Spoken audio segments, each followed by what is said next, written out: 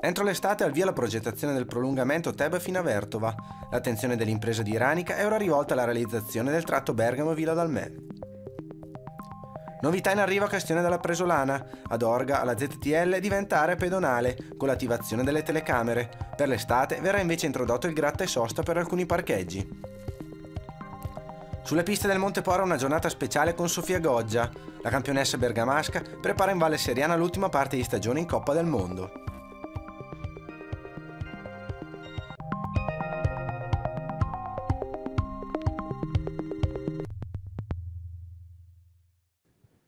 Buonasera a tutti i telespettatori, benvenuti alla nuova edizione della TG di Antenna 2. Partiamo dalla cronaca. Un giovane di 31 anni è rimasto coinvolto in un infortunio sul lavoro nel primo pomeriggio di oggi a Soltocollina. L'allarme è scattato poco prima delle 14.30.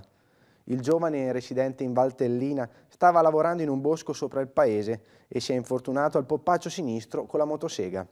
Per i soccorsi, da Sondrio si è alzato in volo l'elicottero di Areu, Dopo le prime cure, il 31enne è stato trasportato in codice giallo all'ospedale di Esine. Sono intervenuti anche i carabinieri della compagnia di Clusone e i vigili del fuoco. Soccorsi in azione ieri in Val Camonica per recuperare una donna caduta in montagna. L'intervento è scattato intorno alle 16 nel territorio di Corteno Golgi. L'escursionista è scivolata lungo un sentiero nella zona di Campovecchio a causa del ghiaccio e nella caduta ha riportato alcuni traumi. La persona che era con lei è scesa fino al punto in cui era presente il segnale telefonico nella zona di Sant'Antonio e ha chiesto aiuto.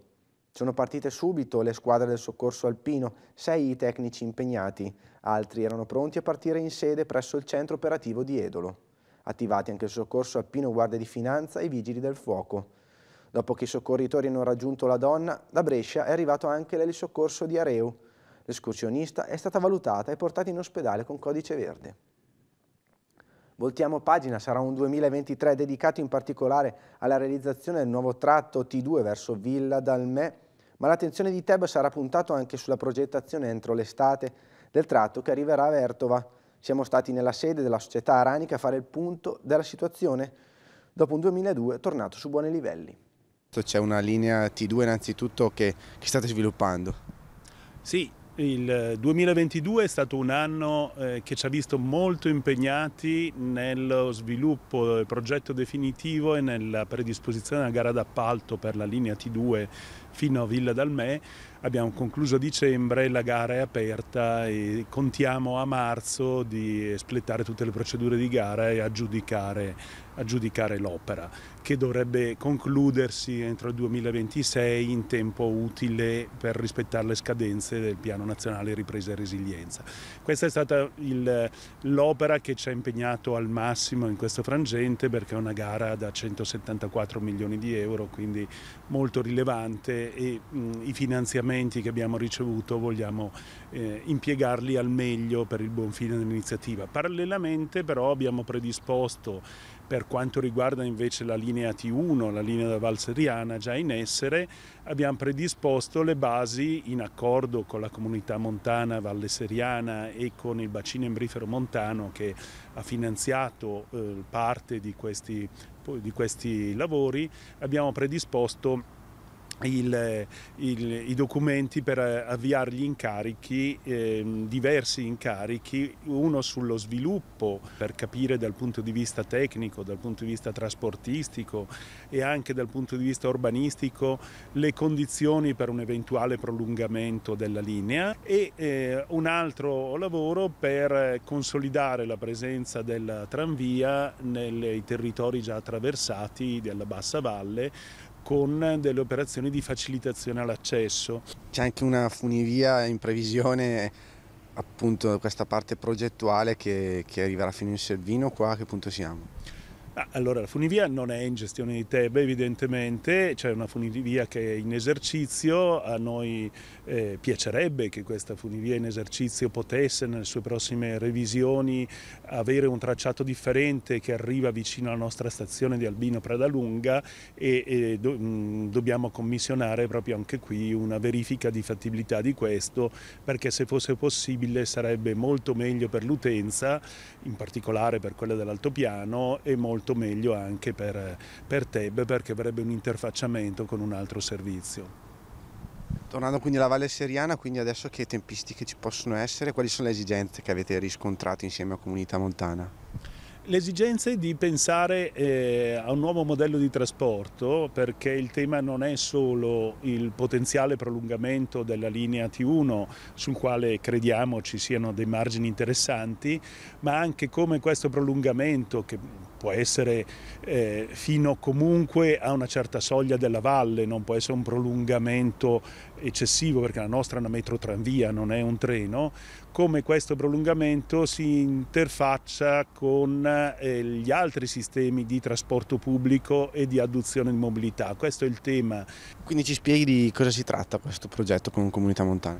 Ma è un progetto altamente sperimentale perché gli scenari di crescita del sistema della mobilità nei prossimi anni in tutta Europa sono legati al cosiddetto, al cosiddetto ITS, Intelligent Transport System. Regione Lombardia ha promosso un bando eh, con anche finanziamenti cospicui per mh, stimolare la realizzazione di sistemi di trasporto integrati nel, nel, territorio lombardo. La comunità montana Valle Seriana ci ha chiesto di eh, partecipare a questa iniziativa, a questo bando, immaginando un sistema di coordinamento tra le reti di trasporto in termini informativi, in termini di gestione del, della mobilità e in termini quindi anche di ehm, servizio all'utenza perché avere dei sistemi coordinati e i cui tragitti, i cui orari sono interfacciati permettono anche di fornire dei servizi anche a domanda in certi casi specifici.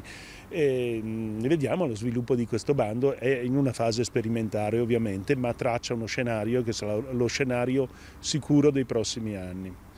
Ci spostiamo sui laghi della provincia, i posti barca sui laghi di Iseo, Endine e Moro nel 2022 hanno fruttato 580 mila euro, soldi che verranno reinvestiti dall'autorità di bacino nelle manutenzioni dei porti e degli ormeggi. Sentiamo. L'autorità di bacino dei laghi di Iseo, Endine e Moro, che gestisce e assegna i posti barca demaniali sul lago di Iseo, ha ricevuto ben 1868 richieste di ormeggio, ma i posti disponibili sono solo 1490. Dunque per il quinquennio 2023-2028 quasi 400 proprietari di barche dovranno rivolgersi ai porti privati oppure traslocare altrove. Sul lago di Seo sono stati assegnati tutti i posti disponibili nei 46 porti regionali. Sulla sponda bergamasca sono 14 posti a Castro, 66 a Costa Volpino, 58 a Lovere, 180 a Predore, 73 a Riva di Solto, 262 a Sarnico, 53 a Tavernola. Sulla sponda bresciana 58 a Marone, 139 a Monteisola, 100 a Paratico, 57 a Pisogne, 21 a Sale Marasino e 41 a Sulzano.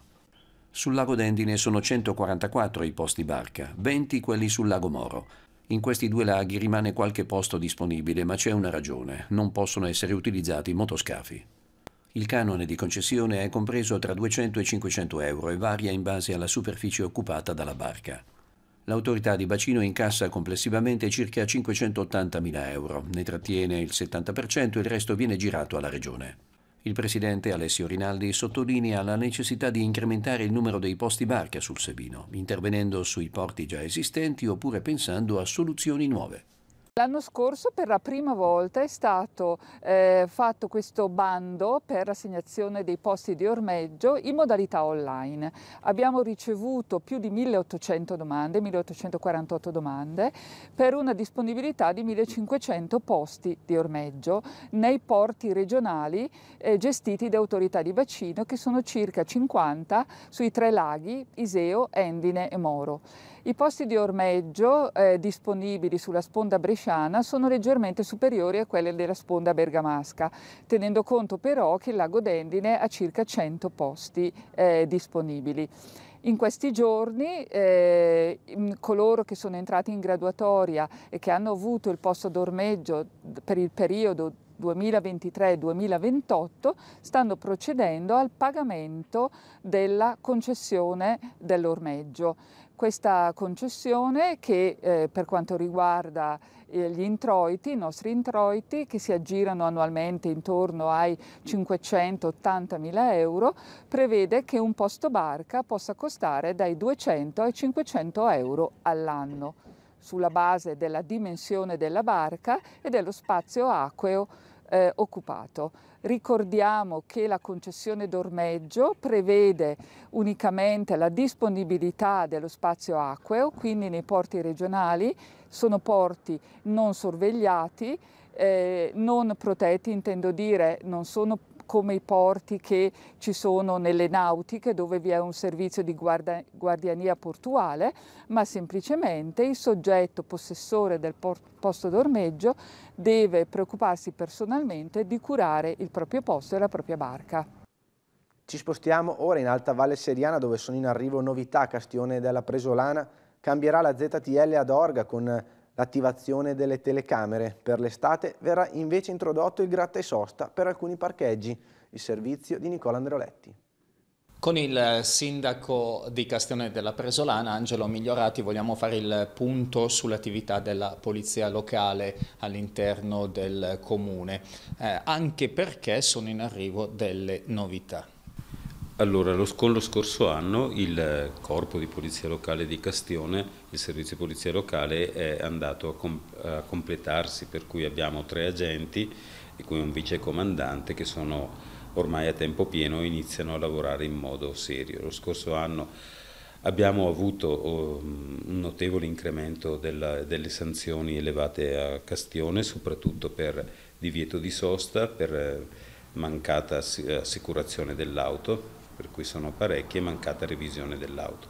Questi tre articoli in particolare hanno portato al Comune oltre 70.000 euro di multe, per cui il servizio c'è, è sul territorio e si vede, per cui l'invito primo ai cittadini è di assicurarsi e di provvedere alla revisione perché è nel loro interesse ma anche nell'interesse dei cittadini. Avendo completato per cui la struttura dell'area polizia locale, eh, si introducono alcune novità a Castione già a partire da Pasqua, per cui da Pasqua vengono attivate le telecamere sulla ZTL che non si chiamerà più così ma diventa area pedonale urbana APU di via Fantoni. Per cui ricordo ai cittadini che dal primo di marzo possono richiedere i nuovi permessi per entrare in APU Fantoni che i contrassegni rilasciati dalla ZTL non saranno più validi, per cui senza nuovo contrassegno si prende la multa e di stare attenti soprattutto adesso a entrare i non autorizzati perché la multa è intorno alle 100 euro a ingresso, per cui non è poco. Abbiamo anche visto che l'ingresso, eh, abbiamo fatto degli esperimenti in questo periodo, che l'ingresso appunto in, in, in ZTL APU è di oltre 200 veicoli al giorno non autorizzati, per cui speriamo che questi veicoli non rendano al Comune 20.000 euro al giorno di multe. Eh, L'invito è proprio a controllare e stare attenti alla segnaletica.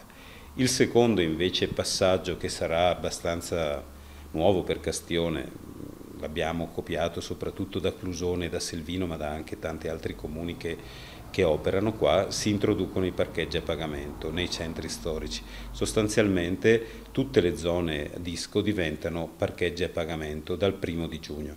Ci saranno i gratta e sosta per cui un'ora costerà un euro e tutta la giornata costerà 5 euro si eh, valuta comunque che la prima mezz'ora sarà gratuita, per cui uno può andare in banca, in posta o fare le sue, commesse, le sue commissioni senza dover pagare. Questo dal primo giugno. Verrà fatta tutta la segnaletica nuova in blu, verranno messi ovviamente i segnali e invito già i commercianti, in particolare i bar e così, a aderire alla vendita dei gratta e sosta in modo che possano dare un servizio anche a chi ne dovrà usufruire. Successivamente valuteremo in base a come andrà l'estate a Castione di estendere anche la sosta a pagamento sia al Monte Pora che al Passo della Presolana. Un Green College per raccontare gli stili di vita sostenibili è l'iniziativa proposta questa mattina all'Istituto Fantoni di Clusone per la giornata del risparmio energetico. Siamo andati a vedere. Oggi è la giornata nazionale del risparmio energetico e degli stili di vita sostenibili e proprio in occasione di questa giornata l'Istituto Fantoni di Clusone ha voluto proporre un'iniziativa, in particolare cosa? Sì, l'Istituto Fantoni ha accolto l'invito che da 19 anni Radio 2 col programma Caterpillar eh, propone di sollecitare, sensibilizzare tutti, dagli studenti ai professori a tutto il mondo, eh, sul tema dell'ecologia, del risparmio energetico e degli stili di vita sostenibili. In particolare quest'anno il Comitato Genitori ha consegnato a ogni classe un cartellone e ha invitato loro a decorarlo come più gli piaceva. Eh, e questa mattina, eh, sotto questo bellissimo sole, ci siamo ritrovati e abbiamo messo insieme tutti questi cartelloni creando l'icona del riciclo. Eh, l'idea quest'anno dell'iniziativa Minuno di Meno è legata alla comunità, al fare comunità energetiche. Ecco, i ragazzi quest'anno sono stati capaci di fare questo, di creare comunità e da questo punto si può partire per anche sensibilizzare tutto il resto del mondo sulle attenzioni minime, per esempio spegnere la luce, chiudere l'acqua quando non serve, per migliorare il nostro mondo. Questa iniziativa ha visto coinvolti in eh, prima persona i genitori, ma naturalmente anche gli studenti e com'è stata la risposta dei ragazzi? È stato molto entusiasmante perché li abbiamo visti attivi, partecipi e veramente coinvolti in questo piccolo gesto che però eh, ci ha permesso di vedere come ciascuno si mette in gioco proprio a livello personale per salvaguardare un po' il mondo e provare a fare qualcosa in questo momento particolarmente anche complicato e difficile. È bellissimo se voi vedete i cartelloni e la varietà di interventi che, che si possono notare. Eh, ci sono dei dettagli, delle finezze che ci, ci fanno respirare proprio eh, la presenza singola di ciascuno con il proprio gruppo, con il proprio mondo adolescente bello carico, bello pieno di vita e di valori positivi. Quindi eh, è stato proprio piacevole questa mattina vedere nei giovani questa luce, questa luce che è davvero quella che dovrebbe aiutarci a illuminare il mondo di qualcosa che non è eh, consumabile, ma è cuore. Si avvicinano gli ultimi giorni di Carnevale, sono diverse le iniziative in programma a Ponte Nossa, dalla cena in oratorio alla sfilata fino al ballo in maschera del martedì grasso. Sentiamo cosa c'è in programma. Anche a Ponte Nossa si festeggia Carnevale. Che cosa avete messo in programma per quest'anno?